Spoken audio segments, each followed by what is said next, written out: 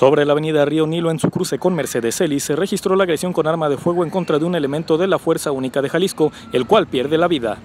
El elemento que respondía al nombre de Ignacio Rodríguez, perteneciente a Los Omegas, que es el área de vigilancia de la Fuerza Única de Jalisco, viajaba en su vehículo particular cuando desde una camioneta en color blanca le realizan la agresión. Según testigos en el lugar, se escucharon aproximadamente 20 detonaciones. El vehículo causante fue encontrado abandonado sobre la calle Santa Rosalía y los causantes se dieron a la fuga por Río Nilo a pie tierra. En el lugar, el personal del Instituto Jalisciense de Ciencias Forenses se encuentra realizando el peritaje correspondiente y levantamiento de los indicios para posteriormente realizar el levantamiento del cuerpo y su traslado hasta la morgue metropolitana.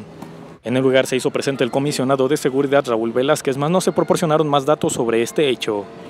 Reportó para Tráfico ZMG desde el lugar de los hechos, Daniel González.